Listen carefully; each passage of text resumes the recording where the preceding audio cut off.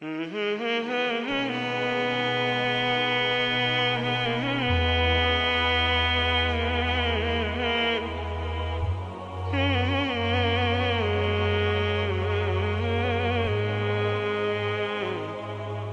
التوكل على الله سبحانه وتعالى نكمل الكلام في الأسطورة الخامسة والثلاثين الفتنة رأس الكفر قرن الشيطان والكلام في الأمر الرابع الملك العادل أبو بكر أيوب الأيوبي. وهذا الأمر الرابع تحت الجهة السابعة الجهمي والمجسم هل يتفقان؟ وصلنا إلى المورد الرابع والعشرين فيما يتعلق بالملك العادل. المورد الرابع والعشرون الكامل جزء عاشر في صفحة 268 ثم دخلت سنة خمسة وستمائة سنة ستمائة وخمسة هجري.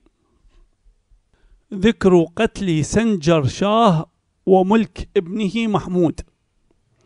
قال ابن الأثير في هذه السنة قتل سنجر شاه بن غازي ابن مودود بن زنكي بن آق سنقر صاحب جزيرة ابن عمر وهو ابن عم نور الدين. هذه دولة الزنكية هذه دولة المماليك هذه دولة المماليك الأتراك. يقول وهو ابن عم نور الدين صاحب الموصل.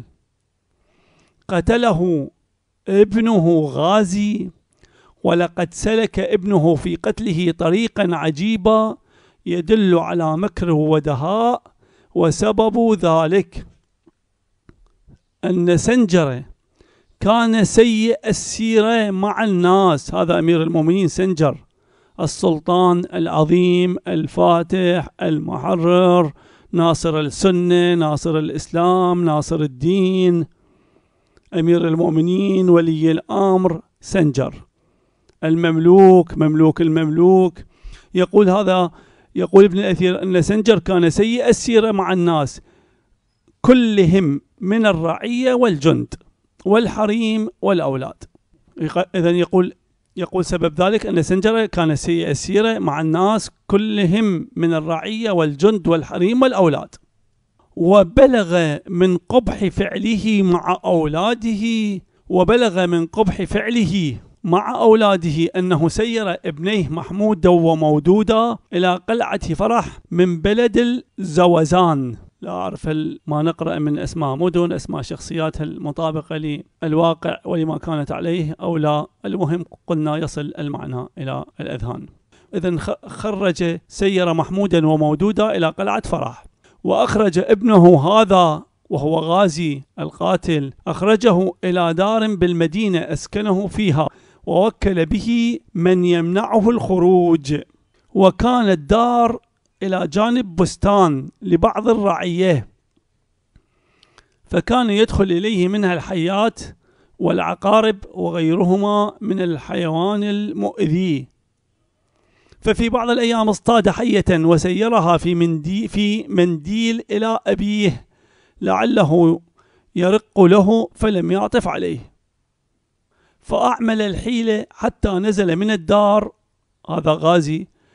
أعمل الحيلة حتى نزل من الدار التي كان بها واختفى. ووضع إنسانا كان يخدمه.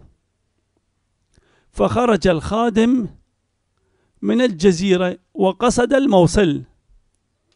أرسل خادما هو هرب من البيت. من الإقامة الجبرية أرسل خادما إلى الموصل وعلم الخادم أخبره بأنه إذا وصل إلى الموصل يقول أنا غازي ابن سنجر يدعي بأنه هو غازي ابن سنجر. يقول وقصد الموصل وأظهر أنه غازي ابن سنجر.